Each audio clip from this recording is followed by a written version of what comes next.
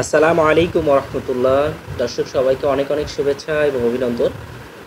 আজকের ভিডিওটি যাদের যে সকল গর্ভবতী মাদের সন্তান হয়েছে, অর্থাৎ সন্তানরা দুধ পাচ্ছে না, শিশুরা দুধ পাচ্ছে না, তাদের জন্য খুবই প্রয়োজনীয় একটি ভিডিও।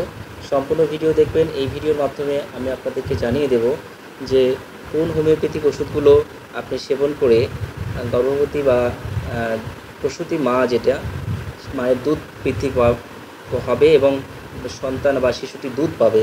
দেখেন, আমরা চিকিৎসক রোগীদের ক্ষেত্রে দেখতেছি বর্তমান সময়ের জন্য যে অনেক মারা তারা সন্তান প্রসবের পর তার সন্তানরা দুধ পাচ্ছে না। তো এটা কিন্তু ব্যাপক আকার দেখা দিচ্ছে এবং অধিকাংশ প্রসূতির ক্ষেত্রে এটা দেখা দিচ্ছে। সুতরাং এই সমস্যা থেকে বেরোনোর জন্য কিছু হোমিওপ্যাথিক ওষুধ আছে। যদি আপনি নিয়মিত সেবন করতে পারেন, তাহলে অবশ্যই এসে আপনি এখান থেকে বেরোতে পারবেন ইনশাআল্লাহ। তো আসুন আমরা জেনে নিই যে যে সকল মায়েরা এই সমস্যায় ভুগছেন, যে যাদের সন্তান আছে, অথচ সন্তান দুধ পাচ্ছে না।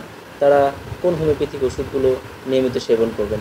দেখেন প্রথমে যে পরামর্শটা থাকবে, অবশ্যই আপনি এ ধরনের সমস্যা যখন দেখা দিবে, তখন আপনি, আপনার পার্শ্ববর্তী কোনো একজন ভালো হোমিও চিকিৎসকের পর- পরামর্শ নিয়ে নিয়মিত ওষুধগুলো খাবেন।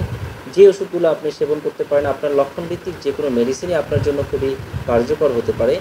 বাট আমরা যদি বলি যে কিছু ওষুধ আছে যেগুলো খুব ফিক্সড কিছু কাজের জন্য ভালো, কিছু সমস্যার জন্য ভালো কাজ করে থাকে, তার মধ্যে দুধ বাড়ানোর জন্য অর্থাৎ গর্ভবতী মায়ের দুধ বাড়ানোর জন্য, দুধ নামার জন্য যে ওষুধটা ব্যবহার করা হয়, তার মধ্যে অন্যতম হচ্ছে আর্টিকেউরেন্স আর্টিকেউরেন্স কিন্তু খুব চমৎকার কাজ করে থাকে।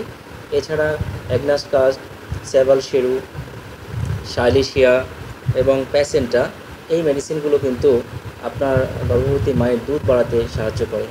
তো এছাড়া যদি বিশেষ কোনো কজেশন থাকে, তাহলেও কিন্তু সেই কজেশন ভিত্তিক কিছু মেডিসিন আসতে পারে। তবে যে ওষুধের নাম বলে দিলাম, যে আর্টিকা ইউরেন্স অ্যাগনাস্কা শেবাল শিরু শ্যালেশিয়া প্যাসেন্ট্রা এই মেডিসিনগুলো কিন্তু আসলে গর্ভবতী মায়ের দুধ বাড়ানোর জন্য চমৎকার কাজ করে থাকে। আপনি একজন চিকিৎসকের পরামর্শ নিয়ে যদি ওষুধগুলো নিয়মিত সেবন করেন, অবশ্যই এই সমস্যা থেকে ইনশাল্লাহ বের হতে পারবেন। আর আরেকটা পরামর্শ হচ্ছে, গর্ভবতী মারা বেশি করে পানি খাবেন এবং সবজি খাবেন। অবশ্যই খাবার দাবারটা আপনার পরিমাণটা বাড়াতে হবে এবং সবুজ শাকসবজি, রঙিন শাকসবজি এগুলো বেশি করে খাবেন এবং প্রচুর পরিমাণ পানি পান করবেন। ইনশাআল্লাহ আপনার স্তনে দুধ আসবে এবং আপনার বাচ্চা বা আপনার শিশুটি পর্যাপ্ত পরিমাণ দুধ পাবে। তো সবাই ভালো থাকবেন, সুস্থ থাকবেন। আল্লাহ হাফেজ।